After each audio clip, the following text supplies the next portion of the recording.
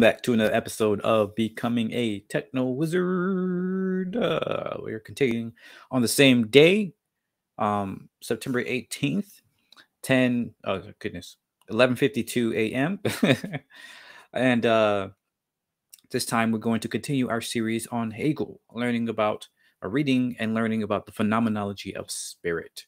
So we are now on section 39, or part 39, sections uh, 90 through 93.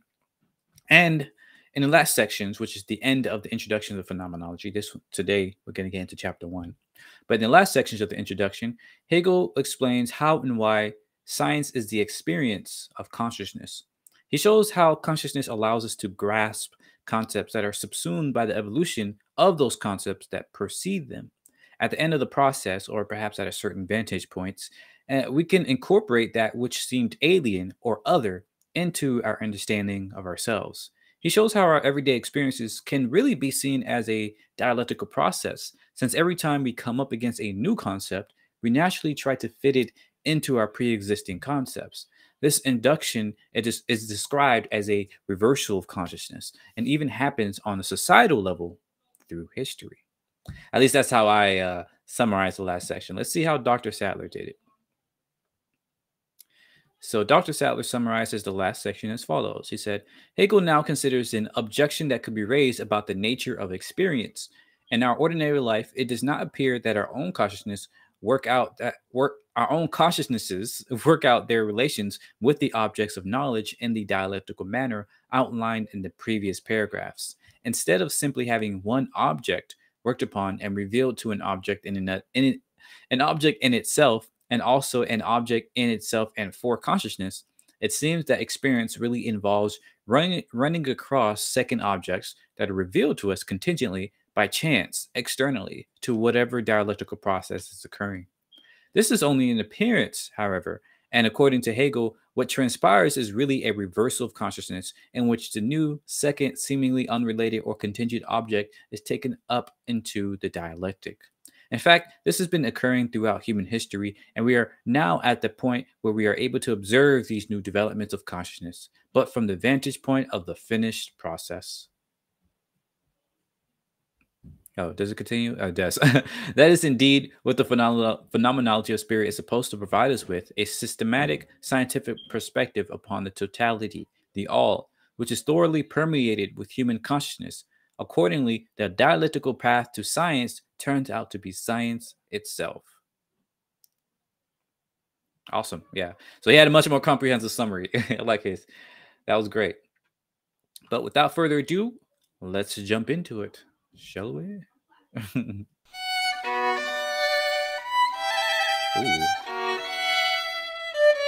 the bop.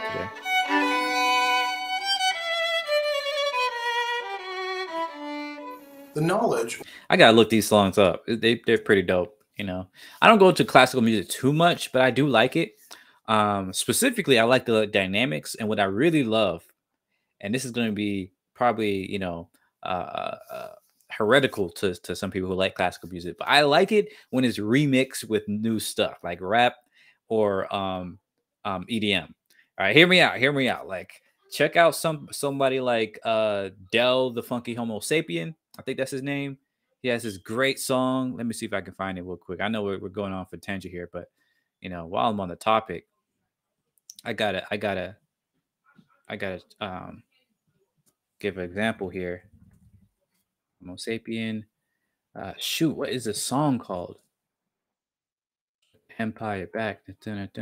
It's crazy. He has like some uh some choral chorus like um choral chorus, like epic orchestral type of stuff in the beginning.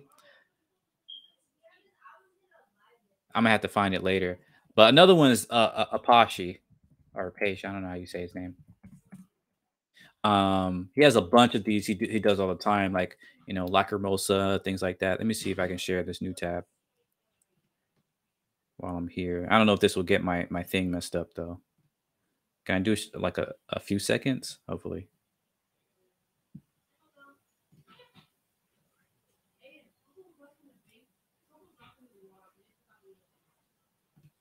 All right, let me stop.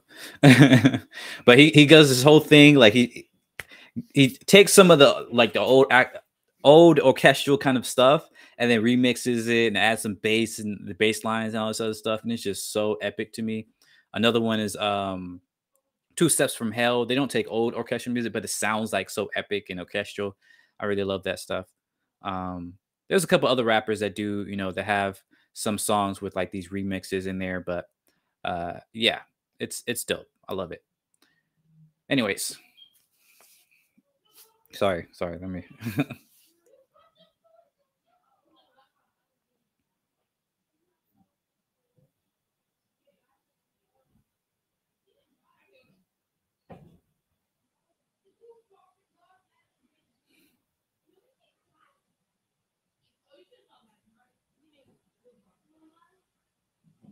Mm, interesting. I talked a lot. So let me just.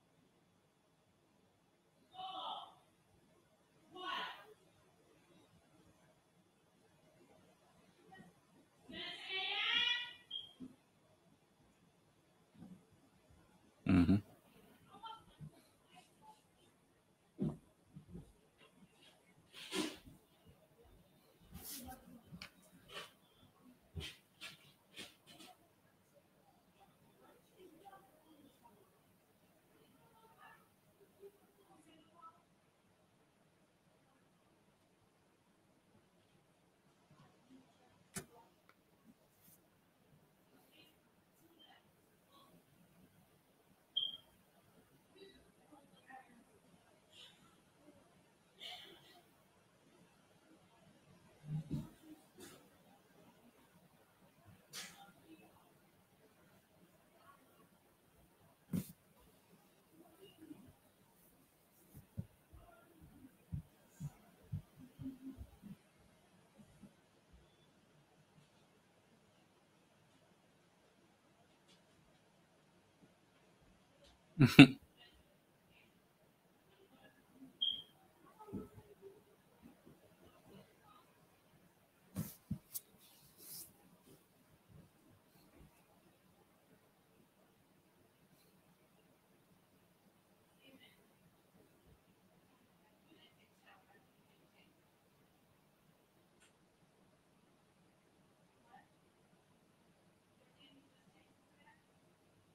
At least we think so.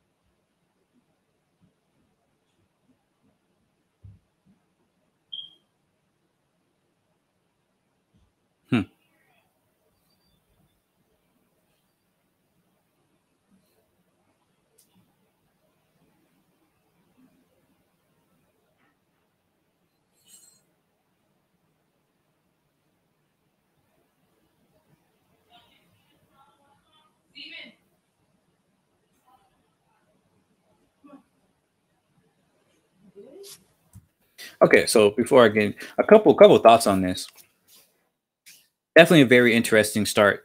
Um, you know that the attempt to start at the beginning, and you know the beginning meaning as with our perceptions, right? And I think that makes sense. But what, what got me thinking is like, is that the beginning, right? Especially in terms of how we come, uh, um, understand the world and, and perceive the world, right? Like maybe you can start uh, in the beginning of evolution, right? With uh, like we could try to imagine, you know, how bacteria would would see the world or perceive things, right? Uh, but that might be going too far. But even if you start with like uh, as a baby, right? How how how how does babies see the world? Like how do they perceive things, right? Because I think what he's getting into here is that we we like to think that the pure um perception, right? The pure sense of things when we just see an object before we even think too much about it. is, is our raw, you know, unfiltered, you know, experience that it alters nothing, all this other stuff. But I think what he's going to go into is that no, it doesn't. Like it, as soon as we perceive something, or the very act of perceiving something requires us to alter it in some way, right? Requires us to put a filter in some way right? Because we're filtering out certain information, we're filtering in other information just based on uh, how what our bio what our biology allows, right? So from the very beginning, you're already, you know, um, biased in some way. You're already altering in some way. You're already, you know, comprehending it in some way. So I wonder, you know, where it's going to lead. But I think this is this is what this part is kind of building up to. Um, but nonetheless, I still will. I really would would be curious to see, you know, if we can do a sort of phenomenal phenomenological um, kind of experience by starting with, you know, a, a child, a baby, you know, uh, how do they perceive the world? Because they may, when they look at, you know, this thing, they don't have an idea of a cup, right? That doesn't come to them. They have to, they, they might, they have to associate that with the action, with what it does based on what other people are doing it for and what and how they use it, right? So that could be a good way of starting from the beginning of looking, observing children, you know, seeing how they learn about objects and perceive them and use them and things like that, and see how that shifts into how we use it today. Um, another example is maybe even other animals, right? Just was it yesterday or something like that? I read an article where they figured out how to how to put dogs in a I still only with two dogs for this study, but it was like a proof of concept. But they figured out how to put dogs in those uh, machines that are so they can read their brain signals, and they can actually they had they prepared some videos for them, and had um you know just sit and watch the videos. So they had to train them to you know sit and watch for for thirty minutes, but they just sat and watched the videos, and they could scan their brain to see you know what parts of their uh, brain was activating when they looked at different scenes. And so they can figure out how how dogs were thinking. And they figured out or they saw so far um, that dogs seem to you know bias towards action versus objects right? So you know more things get activated in their neurons and stuff like that in their brain um, when there's action on the screen versus when there's just an object on the screen and a bunch of other stuff. But that's the sort of thing that i think is really interesting in terms of you know this this this uh this uh phenomenology right? The beginning like how does how does our perceptions change us and how do we change the world based on our perception? So a bunch of thoughts that came to mind when i was when i was listening to this but uh yeah let's let's get into it. Let's let's get further into it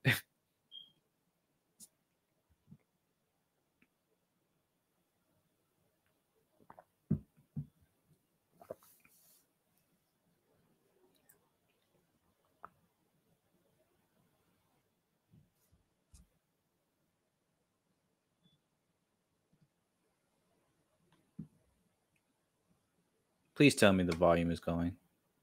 I don't see the volume thing. Oh my gosh. Let me check. I really hope this volume is playing, y'all. I'm going to be mad. I mean, you could read on the screen, so it's the biggest thing you'll miss is my own commentary. Well, no, you should hear my commentary. Okay. Okay, so before I get a couple couple thoughts on this. So this uh this uh phenomenology.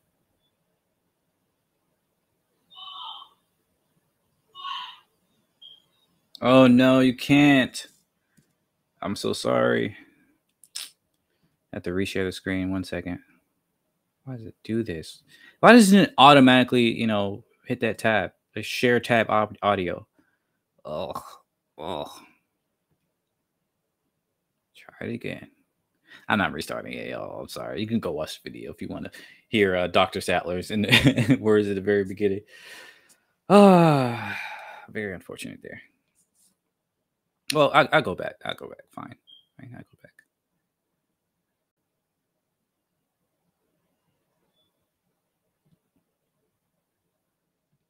And what kind of objects make the most sense for doing this? Why not begin with what seems to be most basic, phenomenology of spirit? Looking at this section called sense certainty. And why are we beginning there? Well, like I put here, shouldn't we begin at the beginning? This is the question that Hegel is posing for us. If we have gone through all of this sort of conceptual preparation in the preface and the introduction, and we arrived at the point where we realize that we need to be doing phenomenology, we need to allow things to present themselves to us, things that have already occurred, but which matter to us as, as subjects that can relive them we need to have a kind of hands-off, passive attitude. And what kind of objects make the most sense for doing this? Why not begin with what seems to be most basic, the objects of sense, the things that we perceive? And this is where, indeed, um, much phenomenology begins with, thinking about a red ball or a green ball, all of which are all. But as Hegel's going to reveal to us, we're not really beginning at the beginning because we never actually have a beginning to start from. It always turns out that this immediacy that we think that we have conceals the fact that there's mediation going on, and we will get to an end where everything has been connected together and all the mediations have been unveiled, but we have to actually start from somewhere. So instead of saying beginning, if you, if you want to quibble about this, we can call it a starting point. We commence the process. And the representation that we make to ourselves of what we're doing at the beginning is that consciousness has to be purely receptive. It, it takes in the object, as, as Hegel says, um, the knowledge that, that um, we're beginning with is immediate knowledge. That is, knowledge that doesn't have anything standing in the way. And you might even say, in a certain respect, I'm, I'm already confusing things by showing this arrow here. What we really want to have is the object just right smack up against consciousness, presenting itself to it, and through the, the you know, the, now be careful, the medium of the senses. But think about what it's like when we're in the moment, when we're just paying attention to what's going on, when we feel that we are being just purely receptive. There's no distance. There's no filter between us and the world that we're experiencing. That is something that's quite attractive. So Hegel says this is what we are going to begin with. It's going to turn out that that's not, a, you know, it's not measuring up to its own pretensions. Mm-hmm. The object presents itself to us as immediate, nothing between us and it, nothing intervening, nothing filtering, nothing conditioning it, as what simply is being. This is our raw, immediate, in your face encounter with beings as such. That's what's being presented here. And consciousness then has some jobs to do. Not only does it have to be purely receptive, it has to take care not to alter anything, not to bring too much of itself to the experience, to let the experience impinge upon, uh, upon it, not to allow the experience to be conditioned or put into a framework by consciousness. So as Hegel will say, um, the translation here is a little bit, a little bit tricky. Um, what we want to do is not allow comprehension to stand in the place of apprehension. We want to distance those from each other. Comprehension here, the understanding in that sense is begreifen, this conceptual knowledge that we've been talking about for so long. Begreifen. And what we want instead is a raw, pure, unadulterated auffassen, just auffassen. grabbing onto the thing itself, seizing hold of it. There's a little bit of you know trickery here because begreifen, you know, to, to grab, to grip, fasten, to, to, to grab onto as well. Both ways we can we can make sense of this. But the idea is that we as consciousness have a capacity for taking in what is coming to us from the object, what is coming to us through our senses, the experience that we take in. Mm. Good stuff. Because of its concrete content, sense certainty immediately appears as the richest kind of knowledge. Indeed, a knowledge of infinite wealth for which no bounds can be found, either when we reach out into space and time in which it is dispersed, or when we take a bit of this wealth and by division enter into it. Mm. Moreover, sense certainty appears to be the truest knowledge, for it has not as yet emitted anything from the object, but the, it has the object before it in its perfect entirety. But in the event, this very certainty proves itself to be the most abstract and poorest truth. Mm. All that it says about what it knows is just that it is. Mm. And its truth contains nothing but the sheer being of the thing. Mm-hmm. Consciousness, for its part, is, is in this certainty only a pure I, or I am in it only as a pure this. And mm. the object similarly only as a pure this. Mm. I, this particular I. Hello, hello. I gotta go back with that. This is this is a good, you know, way of thinking about it too, right? Um, like when we look at an object or a thing or whatever uh, uh, concept, when we first see it for what it is, we just see it for what it is, right? And that may seem like a tautology, if that if that's the correct word there, but like the point is that like when we first see the concept, it, it is like, you know, oh, there it is. Okay. You see rain, you see uh, a wall, you see a cup, you see, you know, um, government or whatever, right? You're just looking at it's basically looking at face value. But we all know that, or at least we should know, and you can't really take things at face value because it's almost always some more depth to it. There's almost always some more things to, to to learn about it. Even a simple object, once again, like a cup, you know, um, you may think you understand it by just by just looking at it, but you don't know how was it made, who made it, you know, uh, what do you put on it, what do you put in it? Like well what is the best type of liquid to put in it? Can you heat it up? Can you you know freeze it? Can you put it in a freezer? You know stuff like this. Like you don't know these things until you delve deeper into it. Similarly similarly for consciousness right? In terms of how we view ourselves right? This certainty only as a pure i right? You, we know that consciousness gives us this understanding of the i the self. But if we only take the self at, at face value, then we'll never understand more about ourselves. We just say, okay, I, I am. Okay, you know, well, what now? Like, you, you really want uh to do more from that like so you can't it, it seems like the the best truth because it's like you see you perceive and all this other stuff but as we're coming to see you know it's important to, to delve deeper this, and the object similarly only has a pure this. I, this particular I, am certain of this particular thing, not because I, qua consciousness, in knowing it, have developed myself or thought about it in various ways, and also not because the thing of which I am certain in virtue of a host of distinct qualities would be in its own self a rich complex of connections or related in various ways to other things. Neither of hmm. these has anything to do with the truth of sense certainty. Here, neither I nor the thing has the significance of a complex process of mediation. Mm-hmm. The I does not have the significance of a manifold imagining or thinking, nor does the thing signify something that has a host of qualities. Mm-hmm. On the contrary, the thing is, and it is merely because it is. It is. This is the essential point for self, for sense knowledge, and this pure being or simple immediacy constitutes its truth. Mm. Similarly, certainty as a connection is an immediate pure connection. Consciousness is I, nothing more. A pure this. The singular consciousness knows a pure this or the single item. Mm. Yeah.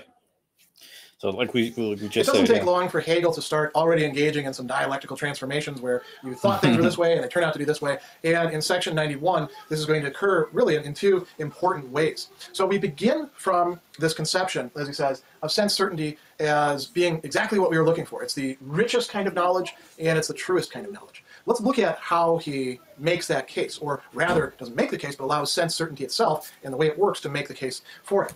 And real quick, I do want to note that this is well, this is actually, to my knowledge, and I might be wrong about this, but I looked it up a little bit. Um, this seems to be a goodness, a real way of looking at human development. Right when when kids are young, um, they see the world from a perspective of, oh, that's that's the world, right? They set these rules for how they think the world works. So when they're learning, when they're young, right, everything they see is they just taking it at face value because that's the only thing they can do, right? Take it at face value, and they begin to form these connections and understandings of how the world works, right? So when it's when you say, you know, this is what a dog is, this is what a cat is, you know, then you have this okay, this certainty, this richness, this true um, uh, knowledge, or, or at least what you think it is. Um, and this is really important to know, right? Because this seems to align with our even modern day science on how development works and how we how we how our consciousness you know develops. We start from this understanding this uh, assumption that what we see is all there is to see. What we see is the the richest the truest knowledge right? But then of course as we grow older you begin to realize oh you know yeah that's a cat but a cat can also be this like a you know a lion or you know if you mess around with it you can also make a cat look like a dog even though that might be hard and that might be weird, but technically you might be able to do it. And then you might be able to ask, okay, what does a cat mean in terms of the species or the gene or the family, all this other stuff, right? So you begin to learn that what you thought was the true truest sense was was really not. Um, so yeah, that that was that's pretty interesting. So why is it the richest kind of knowledge? Well, the consciousness is relating itself to these objects, and the objects are impinging upon consciousness. And it can turn to any one of them that it wants to. He says that it's rich in that there's almost an infinity of possibilities as we range through space and time. Think about your, your sensible manifold as you're looking around. You know, I'm looking around in a room, and there are who knows how many thousand books in this room, each of which has its spine, some color, and I can range my eyes over any single one of them as I'm moving from object to object to object, or if I look at a spot on the chalkboard. Space and time offer me this infinite variety of spectacles to, to engage in. And even better, if I take any one given object and I sort of unpack it and look at it very closely, I can see more and more and more in it. I can take a piece of chalk like this that originally I just see as a, a tiny cylinder, and I notice that the bevels on it are at different angles. If I start paying attention to what I'm doing, um, they do these, mm-hmm. these sort of things in mindfulness exercises. I'm not going to mm-hmm. do this, but I mean, you can take this piece of chalk and stick it in your mouth as well and start, you know, experiencing it by taste. I won't do that because I did that as a kid, uh, and I found out I don't like chalk.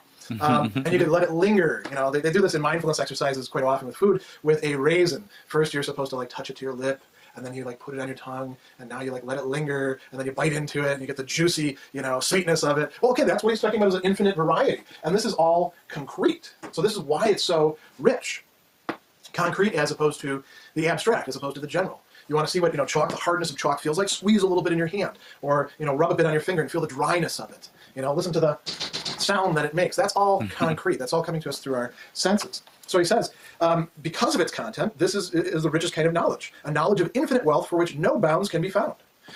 You know, space and time, we can move around as much as we want in them. Time, you can say, all right, I'm going to stop perceiving right now. Ain't going to happen. I suppose if you, you know, gouge your eyes up, but even then your brain's going to be having some sort of sensory impressions of blankness or whatever it is that you see when you're not seeing anything.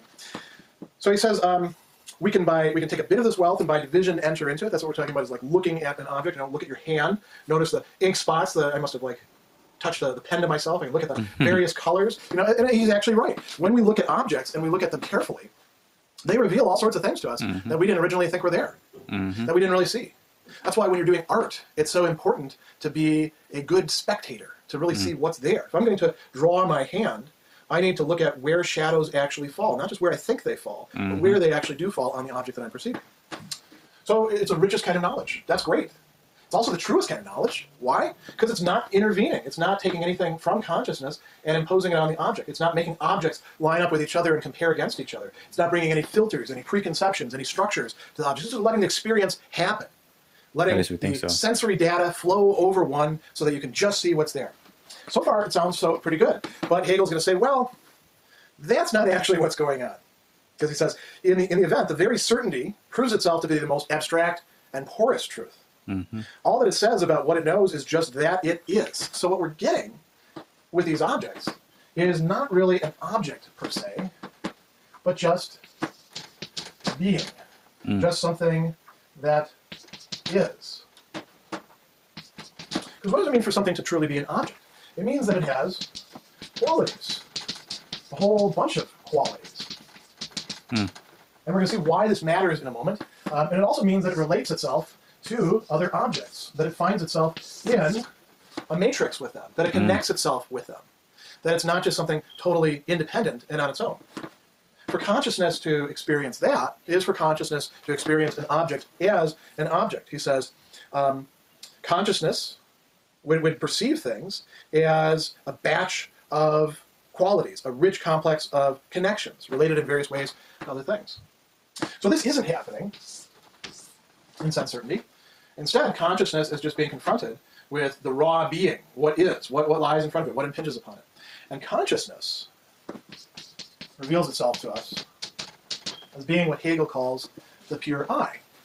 Because if it's just going to be receptive like that, it can't bring anything of itself and at least insofar as it is receptive for the person who's doing the perceiving, the person who's conscious, the only thing that matters is this, you know, you might say, ability to mirror what is out there, this mm-hmm. capacity to take in what's coming in from the outside and make that be what it is. So it can't have any qualities itself, it can't have any determinacy itself. It says consciousness is in this certainty only a pure I, or I am in it. Here's where it's really interesting. Only as a pure this. You can't even really call it an I, because that's already to ascribe it some sort of properties, some qualities, isn't it? Mm, this. That's a good point. That's all we got is this. Now that's not very rich, is it? That's pretty abstract. Mm-hmm. And it's not even giving us the truth of, say, consciousness or the person or the subject or the truth of the object or the truth of the relationship between them. It's just giving us this relationship between one this and another this. Mm.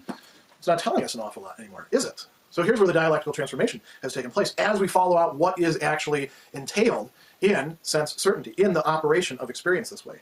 He says, um, this, this particular I, I am certain of this particular thing. Not because I, qua consciousness and knowing it, have developed myself, or thought about it in various ways. That can't be going on if I want to stay in the moment, if I don't want to get away from this pure certainty that sense uh, is able to give me. As soon as I start thinking about it, I've lost it. I'm no longer in sense certainty. I may have a relationship to the object, and it may be a richer, truer relationship, but it's no longer the one of sense certainty. Mm. He says, um, in, in knowing it, I have developed myself or thought about it in various ways, and also not because the thing of which I'm certain would be in itself a rich complex of connections. Neither of these has anything to do with the truth of sense certainty.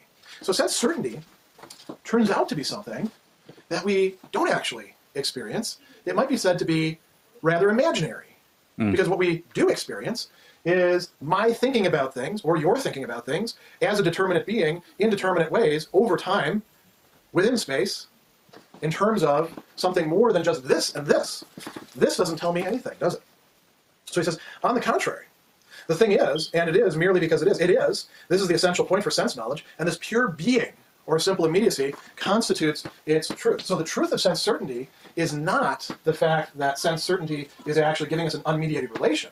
The truth of sense certainty is rather that it's the poorest form of knowledge, that it's only a beginning point, that it can only yield us this is in some sort of relation to each other that has yet to, to be determined in any significant concrete way. It's not really the co- most concrete form of knowledge, it's actually the most abstract. So he says, consciousness is I, nothing more, a pure this. The singular consciousness knows a pure this, or the single item. So you notice what we're doing now. We're actually sort of closing in on consciousness as a this being related now to another this. And the entire universe is kind of closing in upon this, upon these two thises as all that's really happening.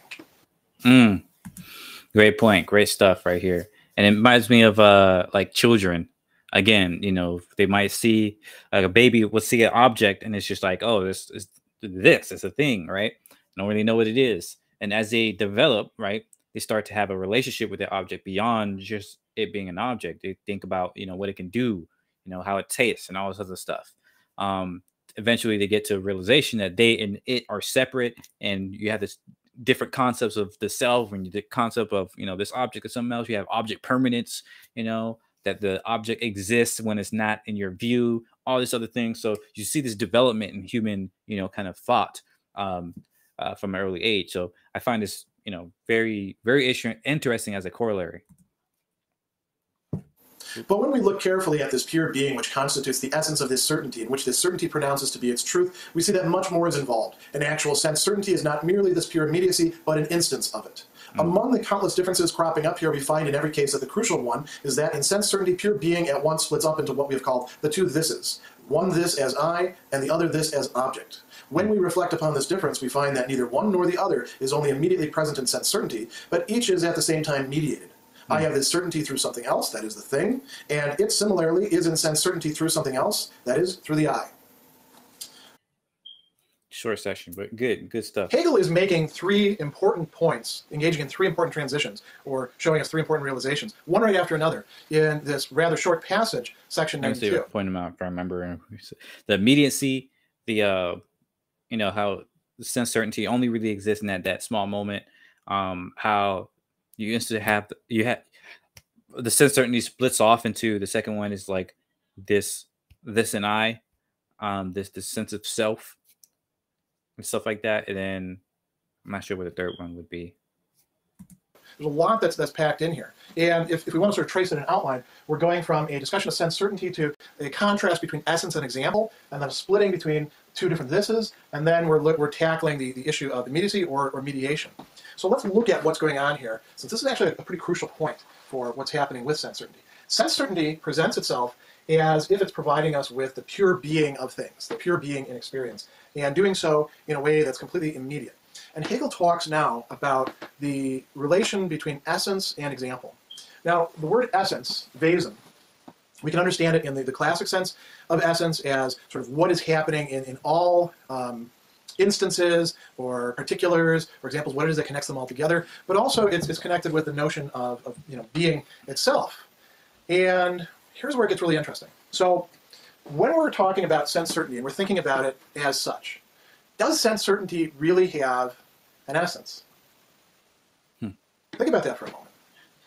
Try to imagine for yourself a case where you are just completely there in the moment, a passive, receptive observer of everything that's going on. Maybe you're people watching, you're just taking in the people in the crowd, and you're not really thinking, you're not trying to figure out anything about them, you're just taking it all in.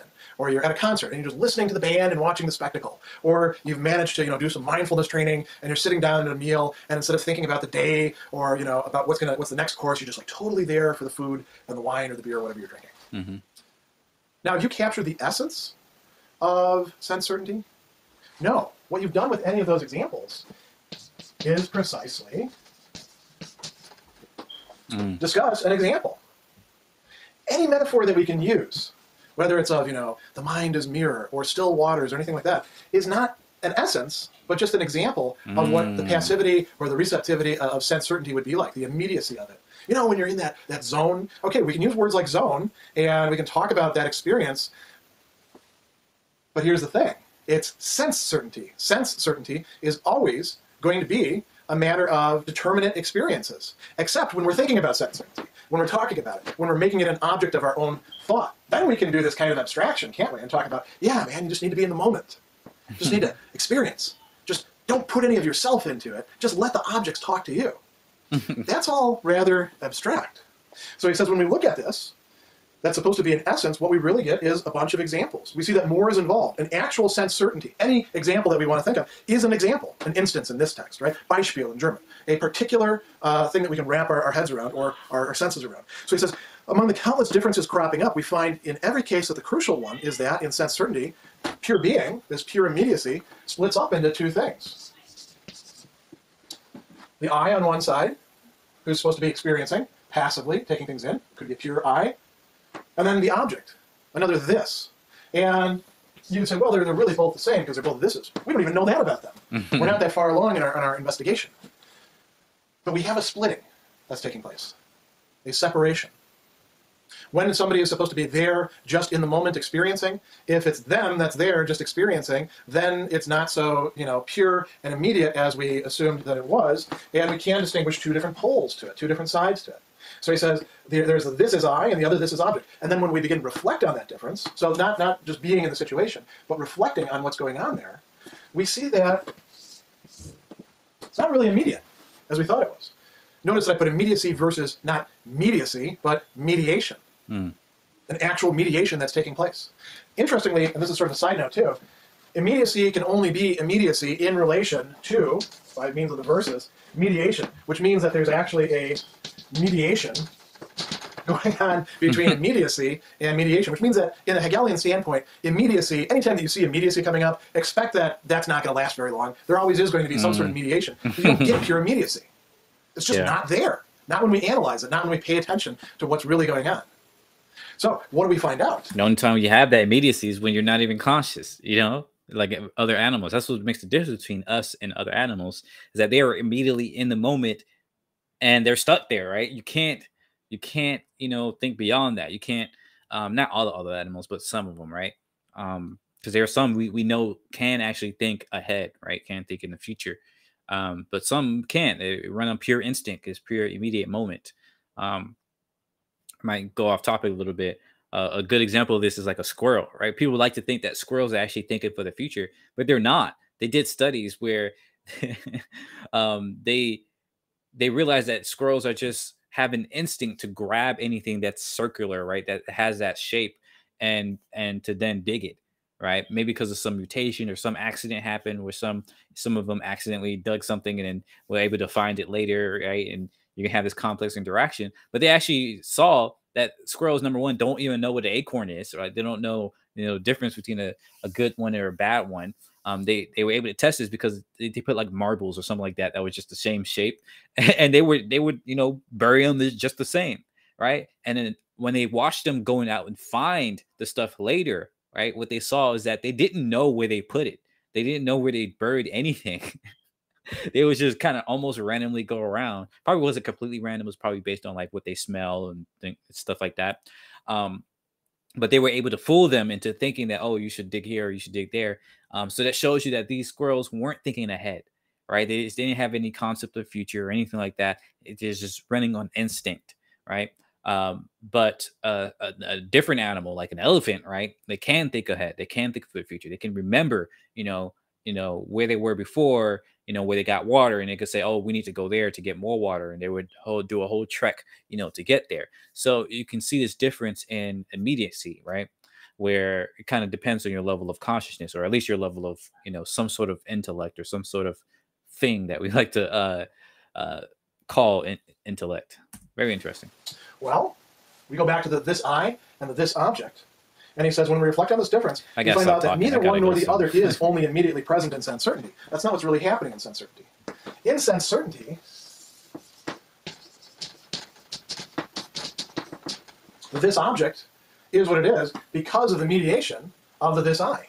Likewise, the this I is what it is, able to take in this object, able to be receptive, because of another mediation going on. Both of them are mediating each other. They're existing in what we call a relation. Mm. So it was actually mistaken to think that we had some sort of pure being that coupled the two of them together and a face difference. They fused into each other somehow. He says, um, neither one nor the other is immediately present. Each is at the same time mediated. I have this certainty, I have sense certainty through something else. I'm able to have this, what seems to me, immediate experience because something else is offering that to me. If I'm eating a, a piece of chocolate and I say, well, this is an immediate experience, I'm just tasting chocolate now and tasting all these different, you know, things built into the thing. You know, maybe it's milk chocolate or dark chocolate or has a little bit of orange or mint in it. Who knows? I'm doing so through the actual thing. That's what's providing me with that experience. I'm not just sort of making it up inside my head. I'm having it through something else. That's not me. But the experience is occurring in me, in my consciousness. And the thing is only able to be the thing that it is and to give the possibility of, you know, the, the, those impressions to, to impinge that certainty because I'm letting it do so. Mm. Because I'm perceiving it. Because I am involved in it. Mm-hmm. So he says, um, I have the certainty through something else, the thing. It is in self certainty only through the I. So now we need to look a little bit more carefully at what's really going on here. Good stuff, man. Ooh. It is not just we who make this distinction between essence and instance, between immediacy and mediation. On the contrary, we find it within sense certainty itself, and it is not it is to be taken up in the form in which it is present there, not as we have just defined it. One of the terms is posited in sense certainty in the form of a simple immediate being, whereas the essence, the object, the other, however, is posited as what is unessential and mediated, something which in sense certainty is not in itself, but through the mediation of an other, the I, a knowing mm. which knows the object only because the object is while the knowing may either be or not be. But the object is. It is what is true, or it, it is the essence. It is, regardless of whether it is known or not, and it remains even if it is not known. Whereas there is no knowledge if the object is not there. Mm. Great point. In section 93, Hegel might actually appear to be going back on what he just told us in section 92. But what he's doing is he's, he's backing up a little bit and saying, let's go about this and let's see where the, the object of our, our investigation leads us. We know now that we're going to find all sorts of mediations happening, but let's see what sense, sense uh, certainty can reveal to us when we analyze it. So he says, it's not just we, in section 92, who make this distinction between essence and example or instance, immediacy and mediation. We find it within sense certainty itself. So if we're paying close attention to what actually actually goes on within sense certainty, what it's what's requiring, what it's involving, then we're going to see the same these same distinctions. He says it's not to be taken up in the, in the, it's to be taken up in the form in which it's present there, not as we have just defined it. So we're backing off from what we did in 92, and now we're going to see how things are going on in sense certainty. So sense certainty posits, as he says, the object or the, the being as something simple, something immediate, and as something essential, as what's really going on there, as what really matters. And it's breaking up the process or the dyadic connection of sense perception into something else that then cast off as not really being essential. As, as he says, not being immediate, only existing for something else, not in itself, but existing because of an other. And the other is the sense experience. So without, he's saying, without some sort of sense experience going on, no I. This is interesting because normally we think about it, well, I have sense experiences and, you know, I'm the one who's really calling the shots because I'm the one who like turns around and looks at stuff and it's my eyeballs or my tongue or my skin that's taking that in. If I wasn't here, there's nothing to perceive. Hmm. But sense certainty, the way that it presents itself to us at the beginning is saying, no, there's all sorts of things in the world, and whether you're there to perceive them or not, that's not really that important. This is where the real stuff is going on. I know I said I start talking, but isn't that a shot to uh what's the name? Descartes or something like that, right? I think before I am thinking that that's the only certainty. Which is this is a shot. I think I think that was um because again, this whole context is is kind of refuting, you know, a lot of the philosophers at the time, right? And I, I believe a lot of them were talking about like essentialism, right? What what the essence of things are and all this other stuff. And he's kind of like throwing shots at them. So yeah. You're just the one who happens to be along for the epistemological ride. You're the one who gets to take in the things. But what you're taking in is coming what actually is, what is true. So he'll go on and he'll say, um, this term is, is posited as, as, you know, simple immediate being as the essence. So the I is related to the, the object through knowing. But that knowing is purely contingent. It doesn't have to happen for the object to be the object, for this to already be in existence. He says the knowing knows the object only because the object is. It is what is true, or it is the essence. It is, regardless of whether it's known or not. So if knowing doesn't take place, that's fine as far as the object is concerned. It doesn't need the knower, the I, the person, to be knowing the object. If a waterfall is there and it's, flowing, it's flowing whether we actually go and perceive it or not. You know, um, from this point of view, if the tree falls in the forest, does it make any noise? Yeah, it makes noise. It just mm-hmm. doesn't have anyone there to perceive it. Mm-hmm. There is the possibility of perception, whether somebody is actually perceiving it or not, whether somebody is knowing it or not. So he says it remains even if it's not known. Whereas if the object's not there, there is no knowledge of the object because there's nothing to know. Mm. Great stuff. Great stuff. Throwing them shots, bro. I like it. Um, I have to run, unfortunately. Um, but this was great. Hopefully, I, I remember to do this summary. but thank you, as always, for watching, for listening. Let me know what you thought, what you learned from this section, um, what your, uh, yeah, all that stuff.